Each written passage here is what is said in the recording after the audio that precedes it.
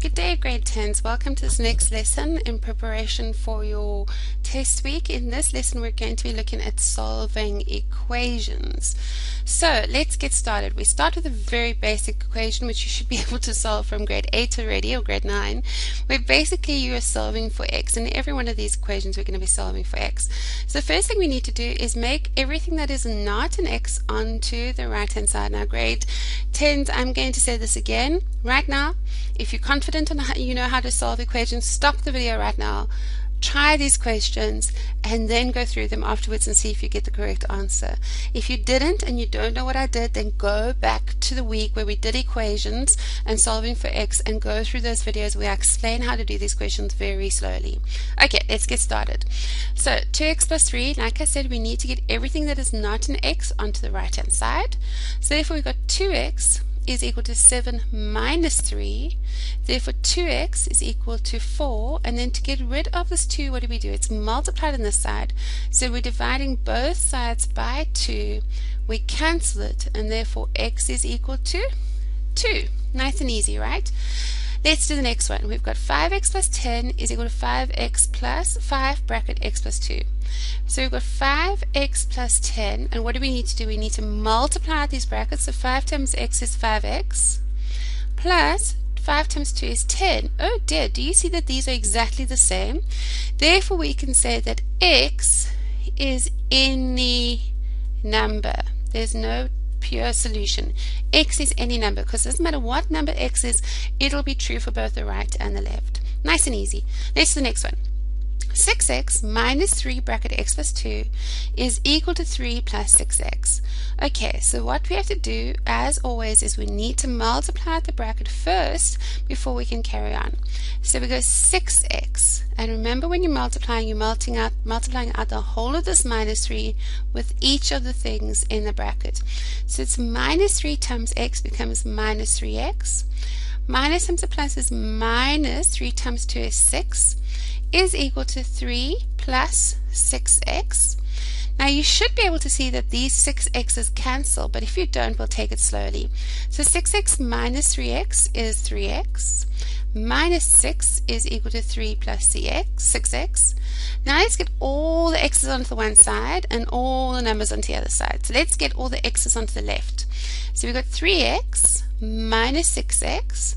Why? Because it's plus here, so when we take it across it becomes minus, is equal to 3, and when we take that across it becomes plus 6. So 3x minus 6x is minus 3x, and 3 plus 6 is 9, and what do we do? Divide both sides by minus 3 to get rid of the negative 3 in front of this x. So therefore x is equal to 9 divided by minus 3 is minus 3. Not too difficult, hey? Right, let's do some more. Ah, now we get on to slightly more tricky things. So, what have we got? We've got x plus 2 over 5 minus 3 equals 2 minus 1 minus 3x over 3.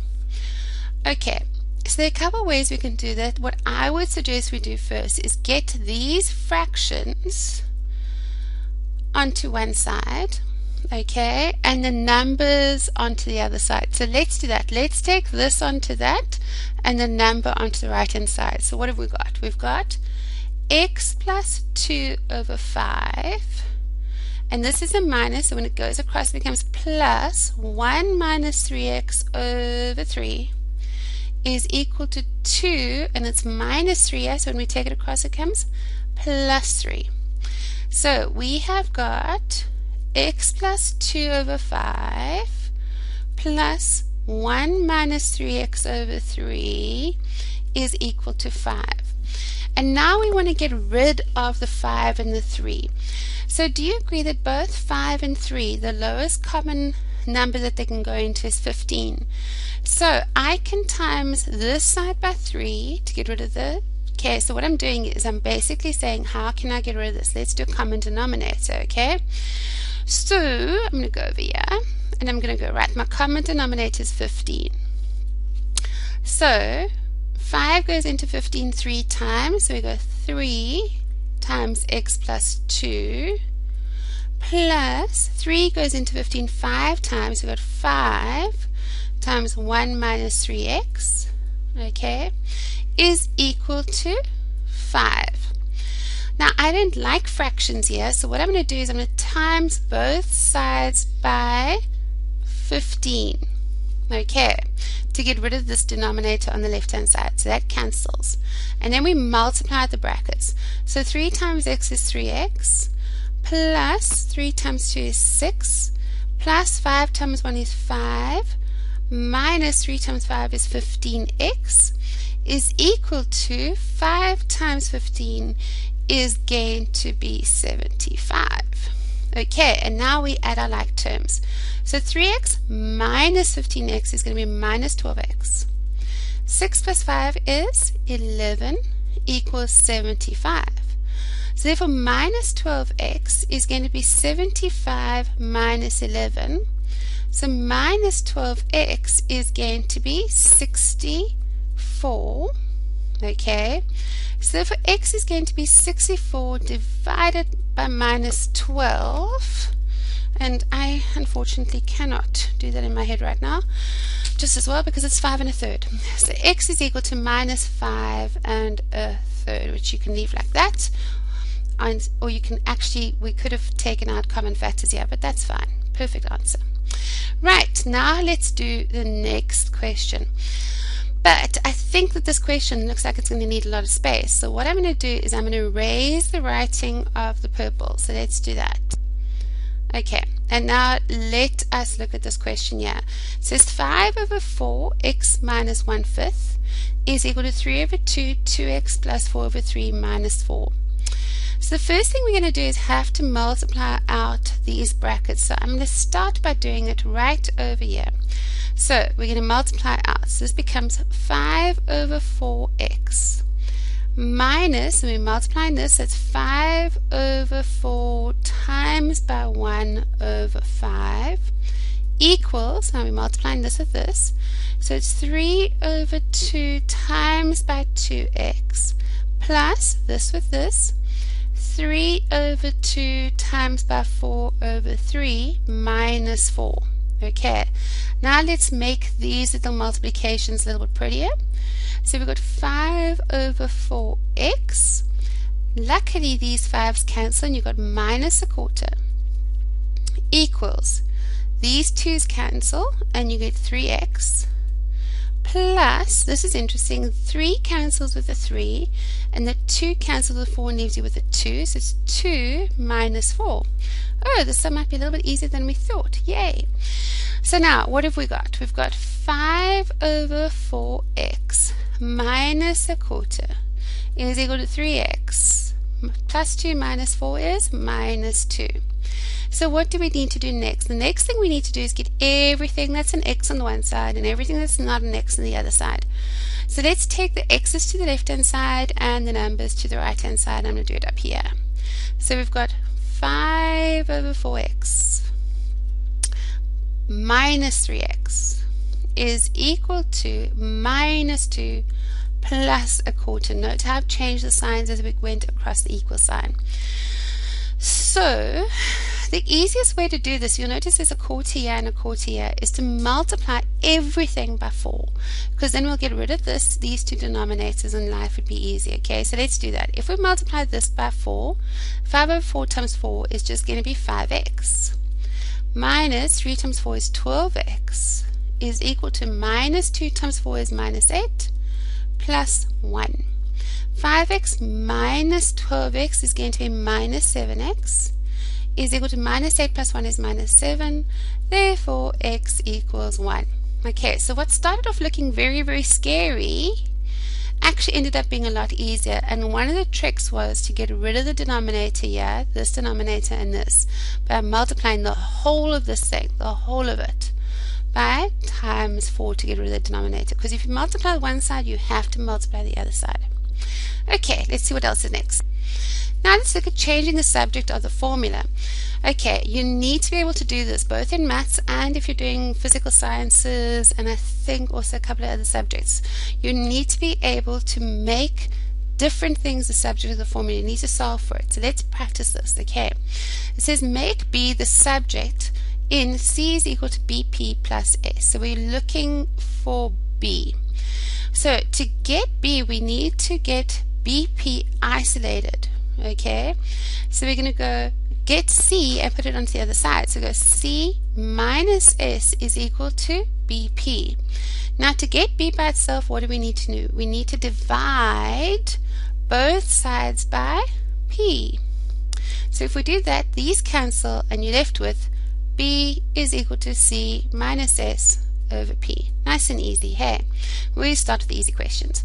Let's move on. Make M the subject of the formula. Make M the subject of the formula. So, okay, this is slightly more complicated. We need to get M by itself. So in order to do this, if we look at this, we've got the whole of this bracket M plus P is multiplied by R and then divided by 2. So let's start off slowly by getting rid of this 2. So to get rid of this 2, we're going to multiply both these sides by 2. So what do we, because that will cancel this and we end up with 2a is equal to bracket m plus p r. Okay, now the whole of this bracket is multiplied by r. So to get rid of the r, what do we need to do? We need to divide this side by r and if we do that to the one side, what do we have to do? We have to divide, do that to the other side. So we divide that by r. Okay.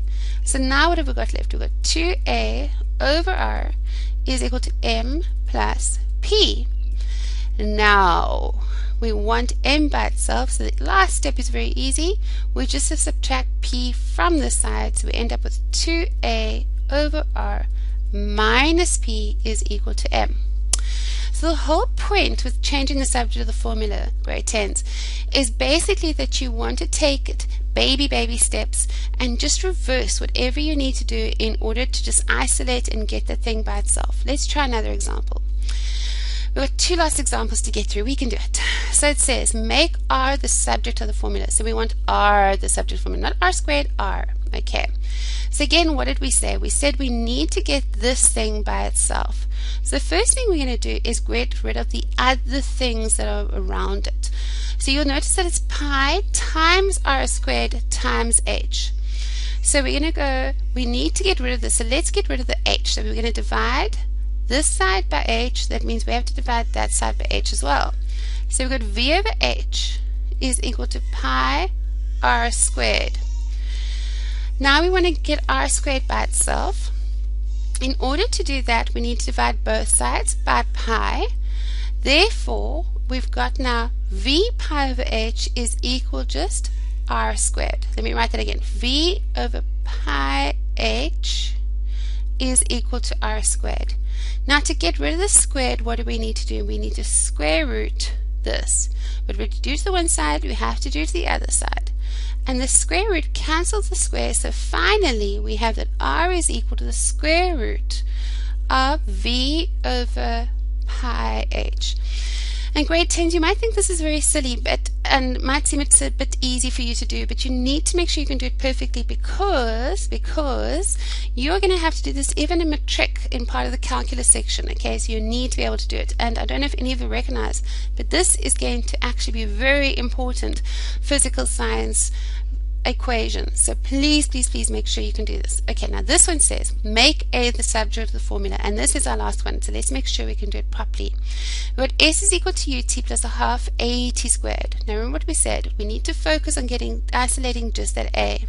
So to do that, we need to get rid of all the things that are separated totally from that whole term, which is the UT. So we can go S minus UT is equal to a half A t squared, right? Now, let's talk about the half and the t squared. We need to get rid of them. So let's talk about the half first. To get rid of a half, we need to times by 2. But what you do to the one side, you always have to do to the other side. So therefore, we've got 2 times s minus ut is equal to a t squared. And now to get a by itself, what do we need to do? We need to divide both sides by t squared. Okay, so finally A is equal to 2 S minus UT all over T squared. And there you go. Right, grade 10s, please make sure you can do all this in preparation for your control test. Practice, practice, practice, and then go do the assessments in the 2Enable system.